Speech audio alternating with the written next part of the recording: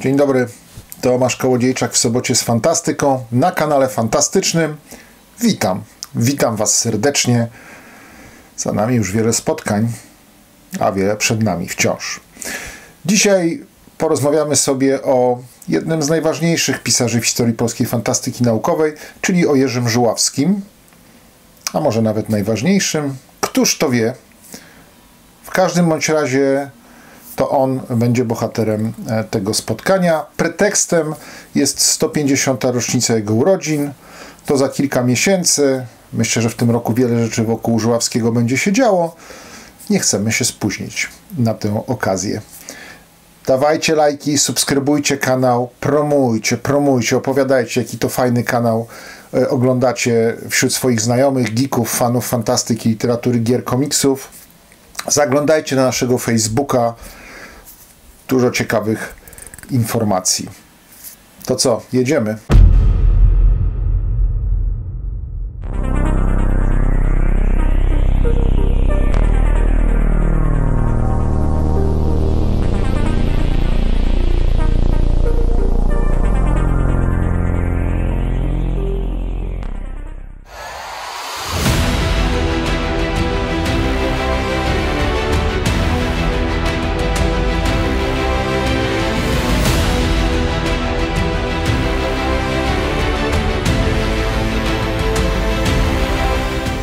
Gatunku, klasyk, ważny autor, dorobek historii science fiction.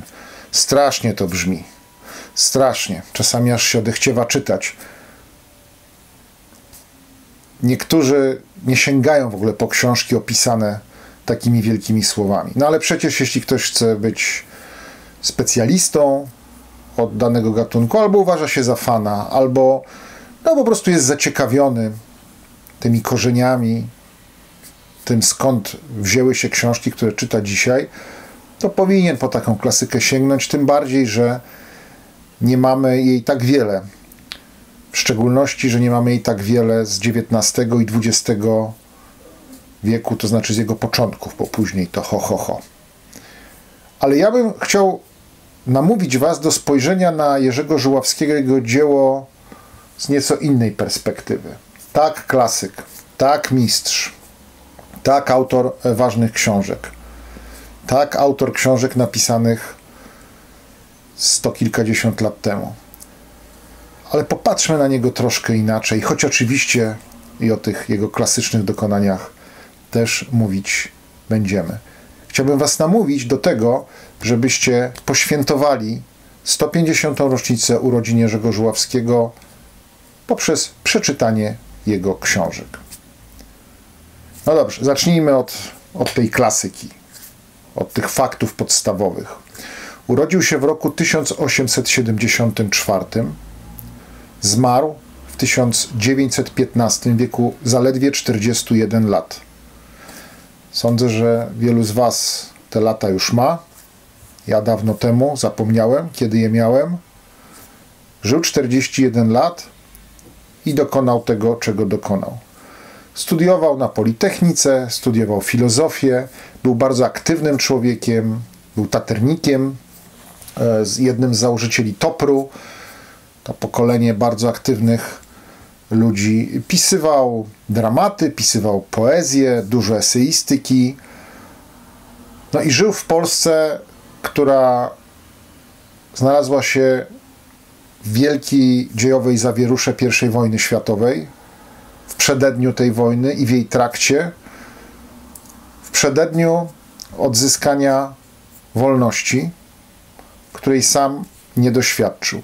Był patriotą, ponieważ intelektualiści tamtych czasów byli patriotami, szanowali Polskę i polskość, szanowali jej historię.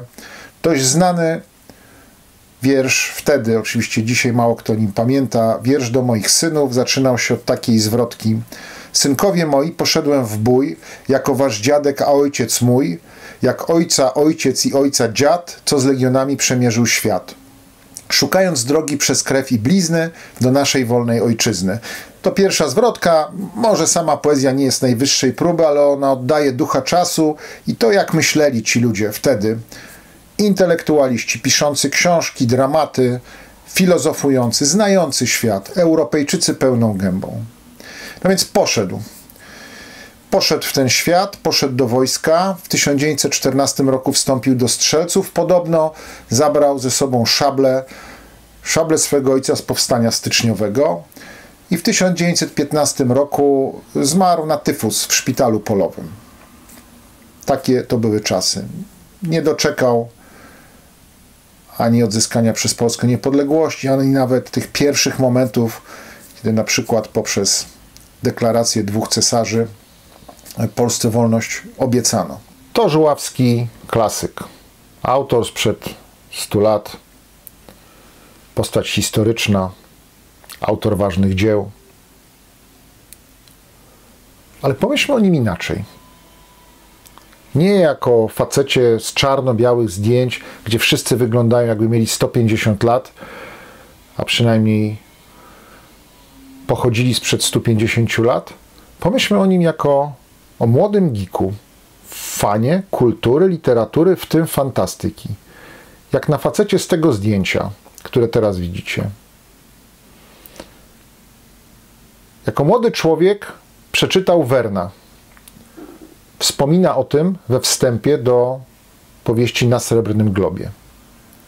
Nie wiemy w którym roku. Pewnie gadał po francusku, bo wszyscy wykształceni ludzie w tamtych czasach mówili po francusku wchłaniał ówczesną wiedzę i literaturę, studiował nauki ścisłe, studiował filozofię, czytał. Poznał Werna, powieść dookoła Księżyca i sam zaczął główkować nad kosmicznymi wyprawami, nad tym, co nad Ziemią. Napisał na Srebrnym Globie, kiedy miał 27-28 lat. Wielu moich kolegów, ja także, swoje książki, za które dostawaliśmy Zajdle, nominacje do Zajdli, albo po prostu książki, które trafiały na rynek, pisaliśmy w tym wieku. Młode geeki, młode nerdy, próbujące pisać fantastykę. Był jednym z nas, jeśli na to spojrzymy od tej strony. Kto wie, może dzisiaj wyglądałby tak, jak jak w tym może nie najcudowniej, ale podjęliśmy tę próbę najcudowniej wyglądającym zdjęciu ze współczesnej Warszawy. Co jeszcze napisałby, gdyby nie wojna i choroba? Ten dwudziestoparo, trzydziestoparo latek, gdyby te zawieruchy czasu nie porwały go ze sobą. Był pionierem. Był pionierem literatury science fiction nie tylko w Polsce, ale i na świecie. Ten młody chłopak, czy też młody mężczyzna, pewnie wtedy też ludzie szybciej dojrzewali do dorosłości. Przypomnijmy sobie daty. Wern z Ziemi na Księżyc to rok 1865. Pierwsze polskie wydanie w prasie ponoć już rok później, ale tak jak powiedziałem, ówcześni inteligenci mówili po francusku, więc mógł to czytać w oryginale. Powieść Herberta George'a Wellsa, Pierwsi ludzie na Księżycu, to rok 1900-1901. Na Srebrnym Globie 1901. Uważana za jedną z kanonicznych, klasycznych powieści frankofońskiej fantastyki, powieść Doktor Omega Arnolda Galopina w której główny bohater przenosi się na Marsa, to rok 1906. Le Rouge, więźniowie Marsa, 1912. Barrocks ze swoją księżniczką Marsa, zależy jak liczyć, przyjmijmy, że 1912. Czy wreszcie Rosny i jego powieść Lot w nieskończoność z 1925 roku, uważana za arcydzieło frankofońskiej wczesnej fantastyki. Popatrzmy na te daty. Żuławski był na samym początku tego procesu kształtowania się nowoczesnej fantastyki naukowej na świecie. Ale żył w Polsce, trzeba go było tłumaczyć. Zresztą takie tłumaczenia dość szybko powstały. To chyba gdzieś pokażemy węgierską edycję jego książki. Trzeba je było tłumaczyć nie miały światowego zasięgu. Zaczęła się wojna, która wszystko to skołtuniła. On zmarł, więc nie pisał kolejnych rzeczy, nie zajmował się promocją, nie robił tego wszystkiego, co zwykle wokół własnych książek autor wykonuje. Młody geek, pionier światowej fantastyki. Jerzy Żuławski, nasz. No dobrze, o czym jest trylogia księżycowa? Zakładam, że większość z Was albo czytała przynajmniej niektórej części, albo o nich słyszała, albo widziała jakąś ich adaptację, ale streśćmy to sobie. Przede wszystkim przyjrzyjmy się historii wydań. Było ich sporo. Ta książka od razu odniosła sukces. Na Srebrnym Globie rękopis Księżyca, bo tak brzmi pełen tytuł tej książki, e, ukazał się, zaglądam do ściągawki, w 1903 roku.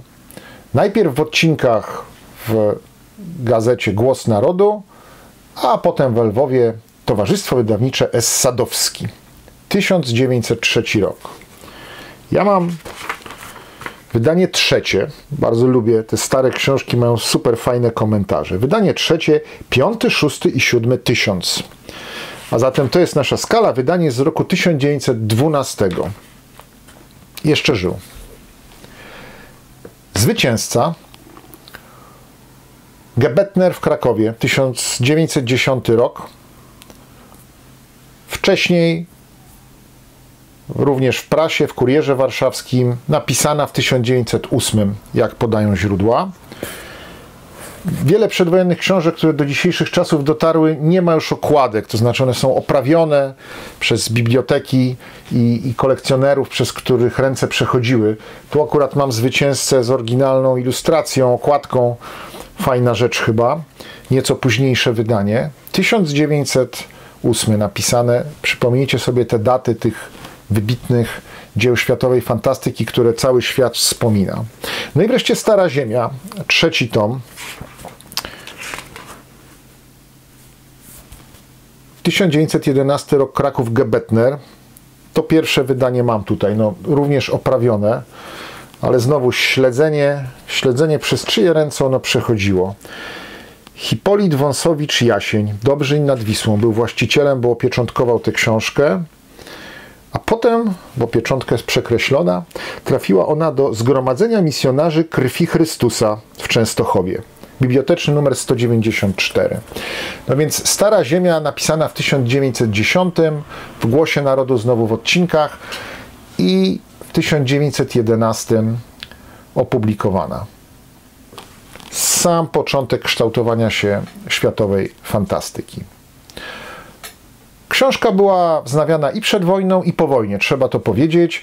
Pierwsze wydanie już w roku 1947, zresztą z bardzo ładnymi projektami okładek syna e, artysty, Marka Żuławskiego. Widzicie je na ekranie. Ja bardzo lubię też e, wydanie z roku 1959, tu z okładkami e, Daniela Mroza, tego ilustratora Lema najsłynniejszego. E, elegancka edycja, z tyłu mapka nawet, mapka, tak, tak, tak, tak, tak, tak, o, trasa, trasa po księżycu, dokładnie narysowana. No ale oczywiście znajdziecie, znajdziecie Żuławskiego w wielu, wielu e, innych edycjach. Przyjrzyjmy się poszczególnym książkom.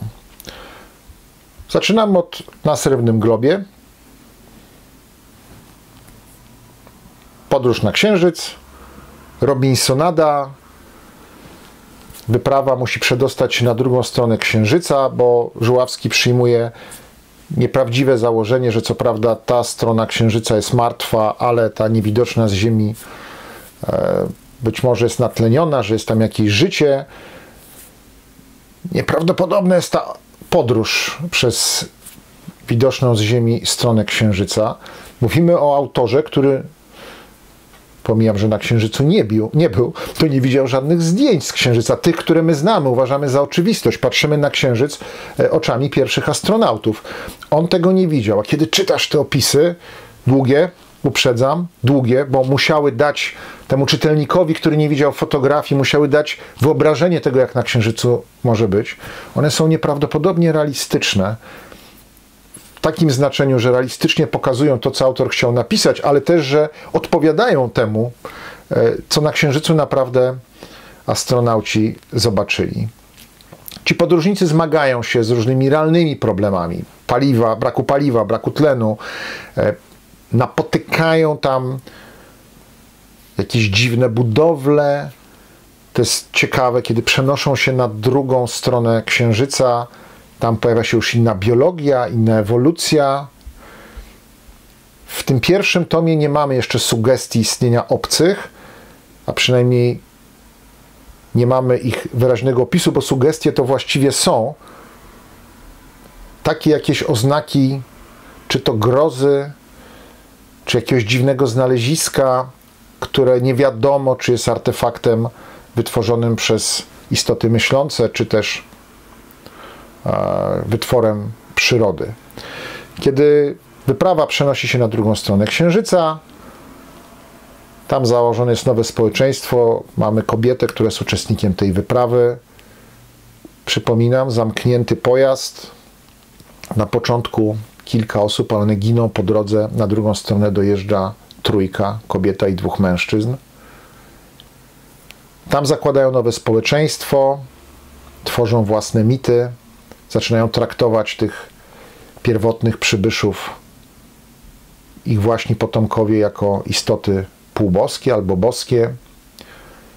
Nie będę opowiadał szczegółowo, no po prostu przeczytajcie to, ale już tam się zaczyna niesamowita opowieść, która będzie kontynuowana w kolejnych tomach. Dostaniecie przygodową podróż, aczkolwiek tragiczną, przez księżyc. Dostaniecie opis tego rodzącego się nowego społeczeństwa. Na koniec ciekawostka. Selenici mówią po polsku, bo główny bohater, narrator całej opowieści, stary człowiek e, z tej książki, jest z pochodzenia Polakiem. Przypominam, pisał to autor w czasach, gdy Polska nie istniała na mapach. Jest Polakiem. No więc jak te dzieciaki tam wychowywał na Księżycu, to uczył ich swojego języka. Selenici mówią po polsku. Króciutki cytat pokazujący, jak szeroko e, myślał Żuławski, pisząc tę książkę. Co sobie wyobrażał? Człowiek, który de facto nie miał możliwości czytania zbyt wielu powieści science fiction, a te, które czytał, no były takie jak to powieści science fiction z XIX wieku. Posłuchajcie. Patrząc na tutejsze życie, zajmujące tak niesłychanie małą część powierzchni całego globu, na rośliny niby wspaniałe i bujne, ale o wiele mniej od ziemskich żywotne, na zwierzęta dziwaczne, ale skarlałe i niedołężne, nie mogę się oprzeć wrażeniu, że patrzę na przepych zachodzącego słońca. Tu życie już się przestało rozwijać, jest dojrzałe, przejrzałe, nawet i czekające końca. I oto przyroda, pracując tutaj od wieków bez porównania więcej niż na Ziemi, nie zdołała wypracować sobie rozumnej istoty, a jeśli nawet wypracowała, to jej czas minął bezpowrotnie. Co on tam sobie wygłówkował w tym swoim XIX-wiecznym łbie, ten nasz młody geek żuławski? Całą ewolucję, bo bardziej szczegółowo przeczytacie o tym w powieści. Cały biologiczny kształt nowego świata. Niesamowite. Tom drugi zwycięzca to zdecydowanie najlepiej czytająca się do dzisiaj część cyklu. Muszę powiedzieć, że repetowałem ją teraz przed nagraniem i znowu mnie wciągnęła. Naprawdę mnie wciągnęła. To wizja SF cywilizacji ścierającej się z obcymi, akcja, przygoda, ciekawe zabiegi literackie o tym, jak opowiedzieć o, o tych wszystkich wydarzeniach. Mamy tu wiele wątków. Minęło kilka stuleci od czasu lądowania pierwszych ludzi na Księżycu. Na Księżyc przybywa kolejny człowiek.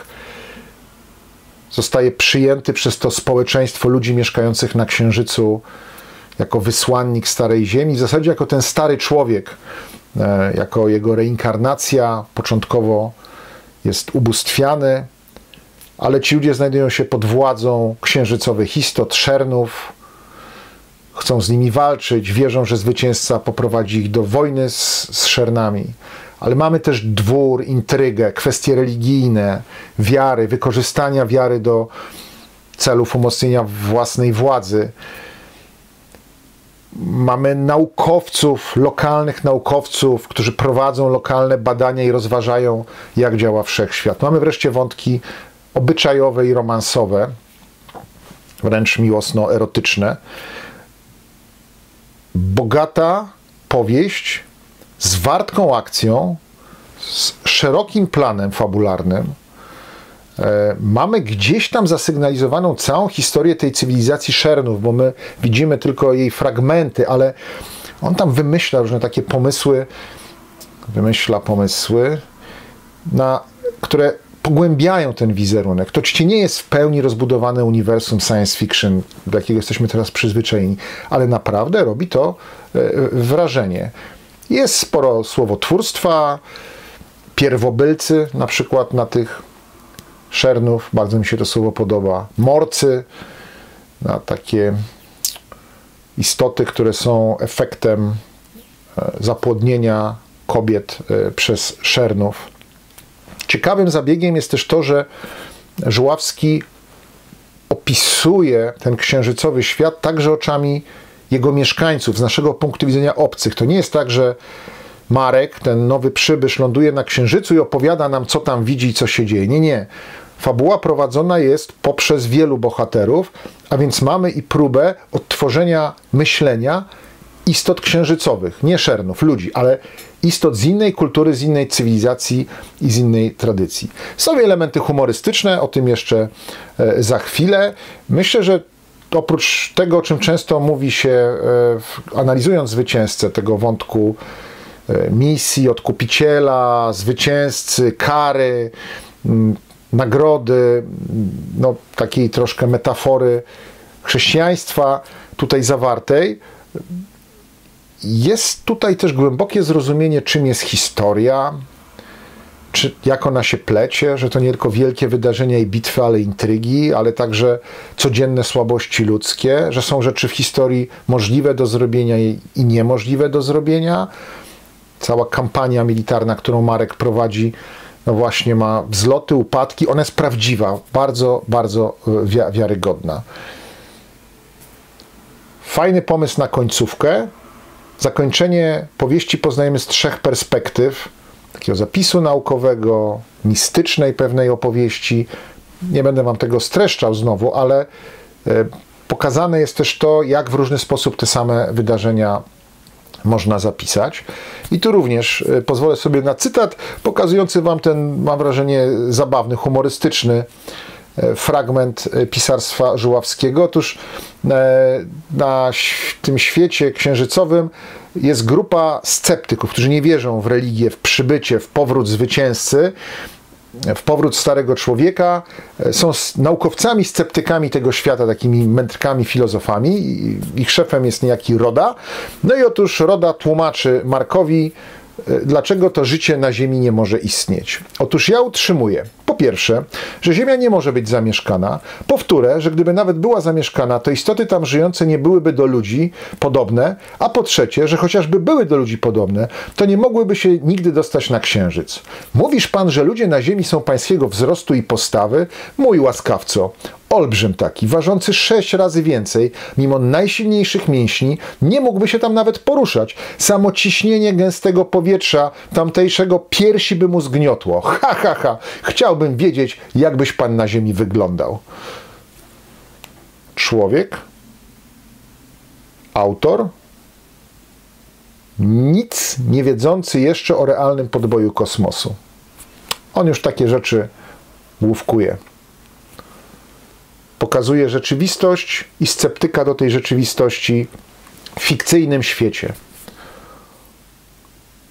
Takie opowiadanie mi się przypomina Simowa Nadejście Nocy o naukowcach, którzy żyją na planecie, gdzie widać mało gwiazd i w ogóle nie rozumieją, że, że wszechświat może być inny. No to Żuławski był grubo przed Asimowem.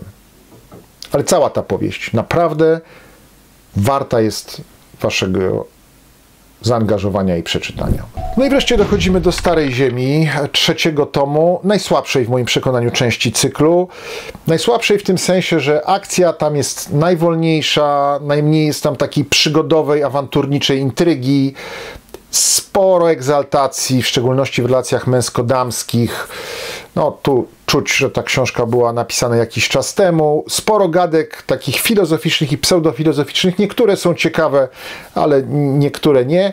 I to jest też chyba powieść, w której najbardziej czuć ten XIX-XX wiek, ten przełom w scenografii, w języku, w wizjach. Ona jest może dlatego, że akcja dzieje się tutaj, w świecie naszym, realnym, nie na Księżycu, w świecie wymyślonym, ona jest najbardziej staromodna. Nie ma tutaj też super ciekawych nowych wizji. Żuławski opisuje przyszłość na kilkaset lat do przodu i tam oczywiście są super szybkie pociągi, wszyscy latają samolotami, które są także do prywatnego użytku e, dostępne jest telefon, jest jakiś nieco szybszy telegraf, różne rzeczy w taki wernowski sposób technologicznie się rozwijają, ale nie ma tu jakiejś e, spektakularnej, e, takiej poruszającej nowości, które to nowości, które to pomysły, wynalazki mieliśmy e, w dwóch poprzednich częściach, ale oczywiście w swoim czasie ta wizja mogła budzić wrażenie. No, on opisuje przyszłość, znowu, autor tworzący w czasach, gdy Polski nie ma, więc być może w ogóle nie mógł wyartykułować by takiej myśli, że e, istnieją państwa i państwo polskie istnieje, bo mu to cenzura u żadnego zaborcy nie puściła. A więc mamy, uwaga, uwaga, Zjednoczone Stany Europy. Tak, tak, Mamy taki konstrukt. Warszawa jest zresztą jednym z ważniejszych miast owych Zjednoczonych Stanów Europy. Mamy powszechnie rozwinięte te wynalazki e, wernowskie. Pojawia się jeden wynalazek, no właśnie nie wiem, czy to zdradzać, czy nie zdradzać. Myślę, myślę, myślę, myślę, myślę, myślę, myślę. Zdradzę. Zdradzę. Coś taki dezintegrator materii, ale związany z atomową E, budową naszej rzeczywistości. Ciekawy koncept, cudowna, cudowny wynalazek, groźna broń, ona jest tam osią fabularną e, tej książki. Jest przepowiednia zmian społecznych, rewolucji. On jakby czuł już oddech tego, co za chwilę nadejdzie. To było już po rewolucji 1905 roku. Te tąpnięcia, te ruchy mas, to, że świat, w którym żyje, chyba nie jest światem, który ma szansę długo przetrwać. Dużo też tu odwołania, to myślę, że było atrakcyjne dla czytelników wtedy, dla mnie trochę nudnawe, a może dlatego, że za dużo od tego później gdzieś w innych rzeczach czytałem. On się odwołuje do tych wschodnich kultur, buddyzm, hinduizm, Egipt. To jest wrzucone w taki charakterystyczny dla tej dawnej polskiej fantastyki e, sposób nie wydaje mi się, że super interesujący, no niemniej tworzący pewną egzotykę świata, więc tak jak mówię, dla ówczesnych, zainteresowanych tymi tematami mogło e, to być ciekawe. Ciekawe są tutaj też rozważania spośród tych wszystkich filozoficznych mniemań o dotarciu do granicy nauki. Mamy tu to myślenie heisenbergowskie, to nazwisko nie pada w powieści, czy nauka jest w stanie wszystko zbadać? Czy w samej materii wszechświata, w samych prawach wszechświata nie ma ograniczeń, które sprawiają, że go do końca nie możemy zbadać? To rozważają bohaterowie e, tej powieści. Stawia tutaj w pewnym momencie mistykę ponad e, nauką. Jest tutaj też e, taki ciekawy motyw, który potem pojawia się w powieści. Rand o buncie elit tak, mamy, mamy tę książkę Anioła Zbuntowanego, bardzo ważna książka dla ludzi o takim liberalnym, czy wręcz libertariańskim myśleniu. W Stanach bardzo ważna, w Polsce również znana. I on tutaj, Żuławski, na wiele lat przed nią prowadzi też takie rozważania. O tym, że są na świecie ludzie, których myśl biegnie dalej, którzy dokonują pewnych odkryć, no i ci ludzie muszą mierzyć się z powszechnością i powszedniością dnia codziennego i z przeciętnością tłumów, z którymi muszą współżyć. To też są ciekawe rozważania. Jest też w tej powieści taka scenka, która z kolei kojarzy mi się z Metropolis. Tam pamiętacie, to Queen potem to użył w teledysku. Robotnicy przy maszynach, roboty, choć ludzie wykonują jakieś proste czynności, no to jakby ten Lang, który Metropolis zrobił, czytał Żuławskiego, bo tę scenę zastosował. Kończy się ta powieść, mogę to zdradzić, y, tym, że, że, że, że dochodzi do jakiejś rewolty, a potem kontrrewolty. No I ci biedni robotnicy, ten tłum, i ci biedni nadinteligenci dostają w skórę. Natomiast w tych kwestiach science fiction, w kwestiach księżycowych, powieść jest otwarta i miałem takie wrażenie przy tej lekturze ostatniej, że Żuławski coś tam jeszcze kombinował, że gdyby nie te wydarzenia historyczne, no a potem śmierć, to miał tam zostawione wątki na dalszą fabułę. Nie powiedziałem tego na początku, to bardzo ważna rzecz, ale też zdradza trochę fabułę. No generalnie chodzi o to, że dwóch księżycowych ludzików na Ziemię przyleciało i ta stara Ziemia oglądana jest trochę ich oczami, nie tylko, także oczami bohaterów ziemskich, tu funkcjonujących, w tym jednego z przyjaciół Marka, tego, tego faceta, który na Księżyc poleciał. Ale mamy też tutaj lunarytów, lunian na Ziemi. I oni obserwują tę przyszłą ziemską cywilizację. Cytat, jak do każdej powieści, tym razem cytat przestroga. Wszelka utopia od najstarszych platońskich począwszy, przez ciąg wieków aż po dni dzisiejsze, utopią na zawsze pozostanie. Dopóki roi się w książkach, buduje się gmach z kart, nie dbając o prawo ciężkości. Ale z chwilą, gdy się rękę do dzieła przyłoży, widzi się nowe zło, które na miejscu dawnego usuniętego powstaje. Współżycie ludzi doskonałe, ustrój idealny to problem z natury swej nie dający się rozwiązać. Żuławski, pierwsza dekada XX wieku. Za chwilę przyjdzie Lenin i Hitler. A od Żuławskiego przestroga. Zachwalam tu Żuławskiego i namawiam do jego czytania, ale oczywiście musicie pamiętać, że to są powieści napisane 110-120 lat temu.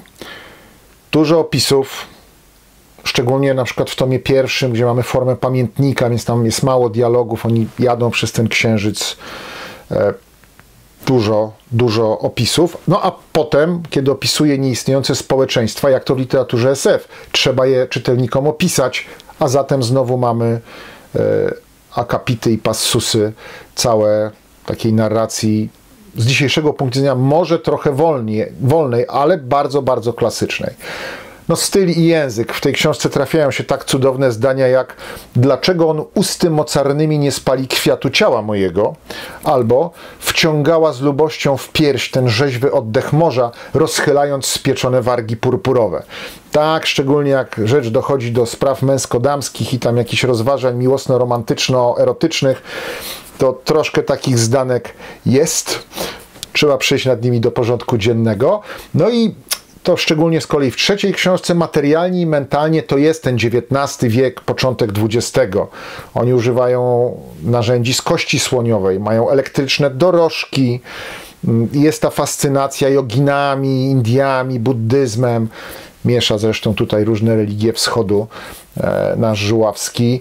Mamy lokajów, którzy przynoszą kawkę i, i różne dobre trunki głównym bohaterom, więc to są powieści napisane e, ponad 100 lat temu i tę poprawkę rzecz jasna brać e, musicie przy ich lekturze. No ale jednocześnie jest to bardzo nowoczesna proza SF w rozumieniu tym, czym nowoczesność w SF jest, ale także i dzisiaj uważam, że są tu ciekawe rzeczy do, do, do, do zauważenia.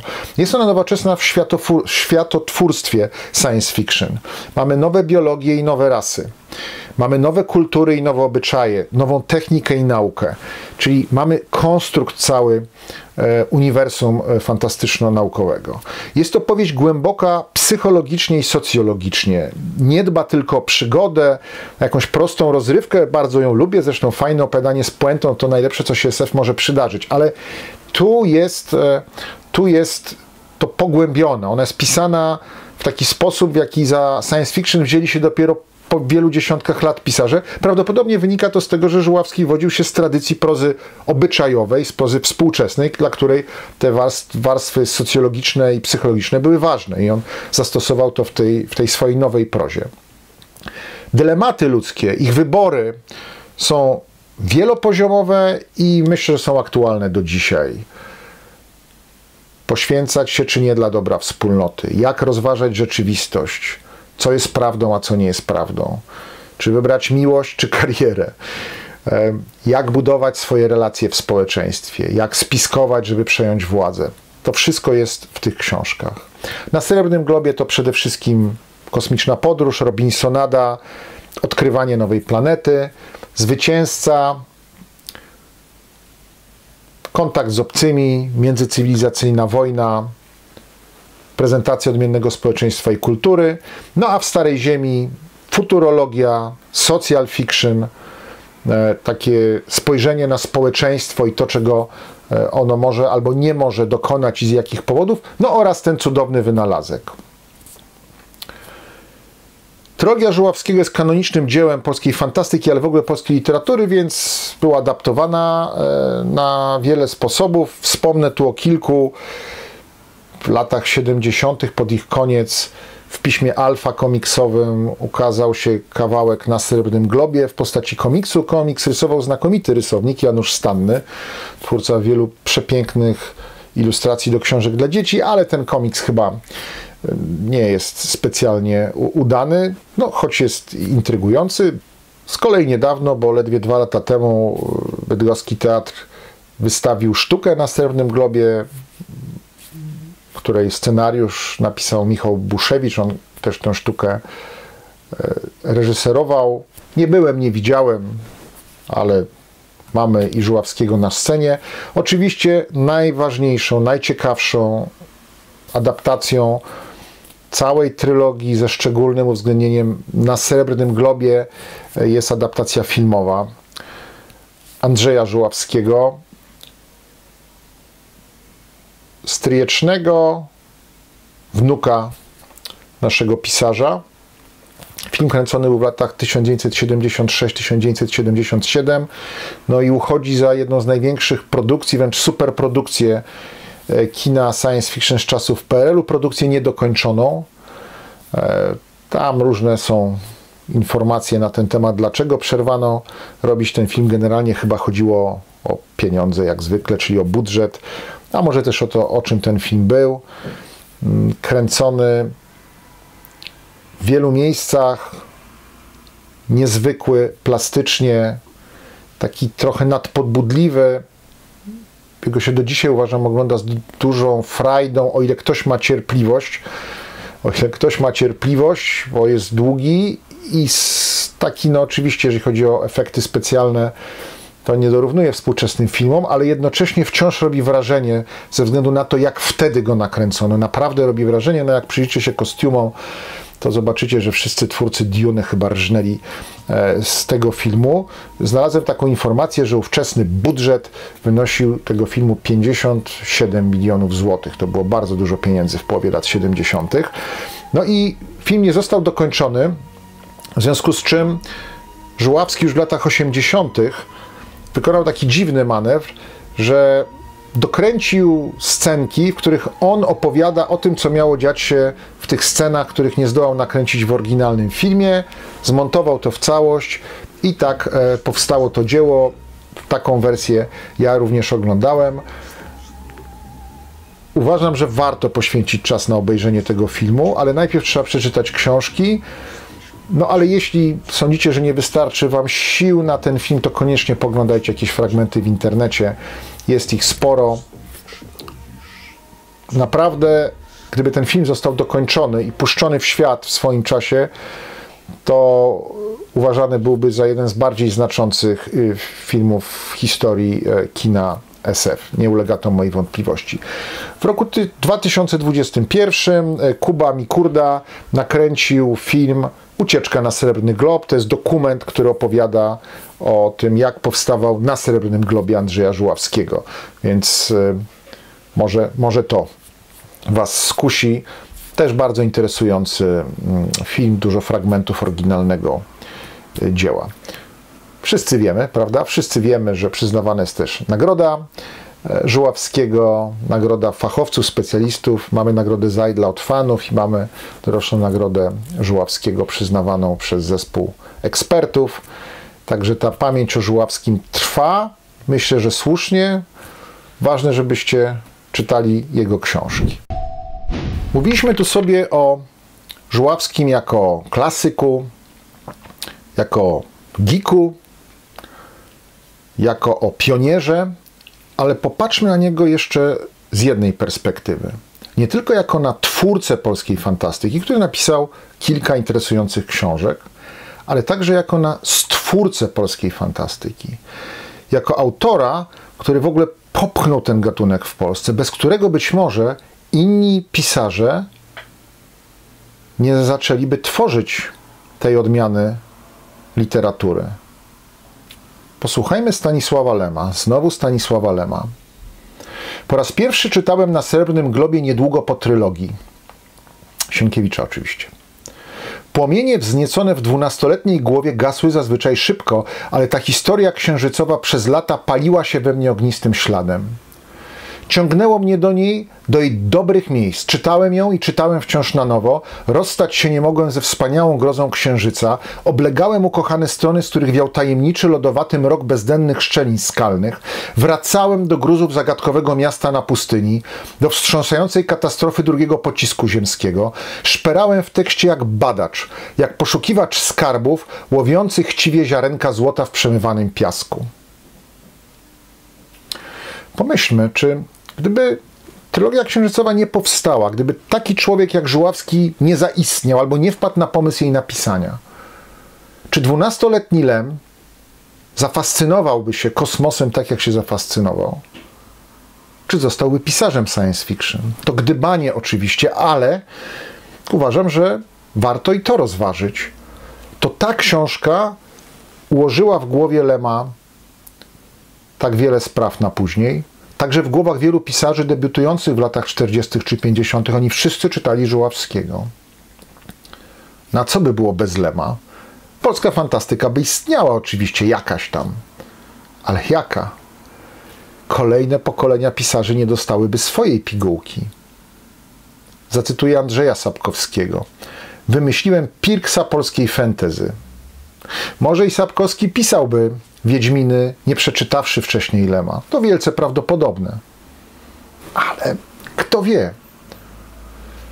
Jeśli gatunek SF w Polsce nie byłby tak mocny, bo nie byłoby Żuławskiego, a w konsekwencji Lema, jesteśmy na kanale fantastycznym, możemy spekulować, to jak on by dzisiaj wyglądał? Czy powstałby CD Projekt bez Sapkowskiego? Czy mógłby mieć na sobie bluzę z tym oto znaczkiem, bo ktoś stworzyłby tu cyberpunka? Oczywiście tego nie wiemy, ale myślę sobie, że to jest przykład, ta trylogia, to przykład tego, że zaistnienie jednej osoby, jednego w tym przypadku autora i jego dzieła, może wpłynąć na kierunek rozwoju, jeśli nie całego świata, to przynajmniej jego kawałka albo segmentu, albo przynajmniej jakiegoś fragmentu literackiego, na życie wielu ludzi, którzy tego Żuławskiego, a potem Lema, a potem Sapkowskiego, czytali, a potem w te gry CD projektu grali. No, taka spekulacja na koniec. Warto czytać stare książki. Oczywiście sporo z nich ciut się zestarzało i, i może to czasami nie być łatwe, ale akurat Żuławski jest na tyle cały czas współczesny i nowoczesny, że, że powinniście sobie dać radę. To się naprawdę może okazać łatwiejsze niż wydaje. Możecie w tych książkach znaleźć mnóstwo ciekawych rzeczy, odkryć, no właśnie tych takich science fictionowatych. No, oczywiście znajomość klasyki daje też podkład wiedzy do percepcji, recepcji, analizy prozy współczesnej, do odwołań do tej prozy. Celebrujmy Jerzego Żuławskiego, twórcę i stwórcę polskiej fantastyki naukowej. Urodził się 150 lat temu, a my cały czas o nim pamiętamy. Są powody, naprawdę są powody. Jeśli podobało Wam się to nagranie, lajkujcie, lajkujcie, nie zaniedbujcie tej czynności. Klik, klik, klik. Prosimy Was o subskrypcję, o polecanie, o zaglądanie i polubienie naszego Facebooka. Nagrywamy dla Was, mamy z tego frajdę, mamy nadzieję, że Wy ją macie, a będzie ta frajda jeszcze większa, jeśli tam się wszyscy wzajemnie polubimy. No i komentarzyki, komentarzyki, jak Wam się Żuławskiego czytało. My widzimy się za tydzień, a w przeciągu tygodnia moi koledzy zawsze wtorki, czwartki i soboty, no chyba, że jest jakaś niespodzianka. Czołem!